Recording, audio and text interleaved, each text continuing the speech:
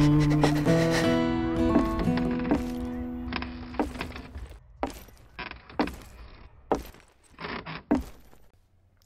hey, what's up there, Tony? I'm just gonna go harvest your organs real quick because I don't like you and you're a brawler. You know, we, we don't have any rooms for people like you in the colony, unfortunately, but, uh, you know, at least we could use some of your organs. Uh, now hold still, okay? Deploying flashback. Go, go, go!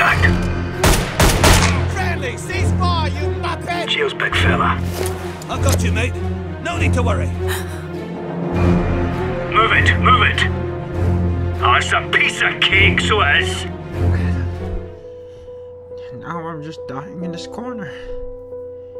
I have no idea how many colonies I've started. how many people I've lost because I wasn't willing to do the most evil things to save the people I care about. Time for me to go.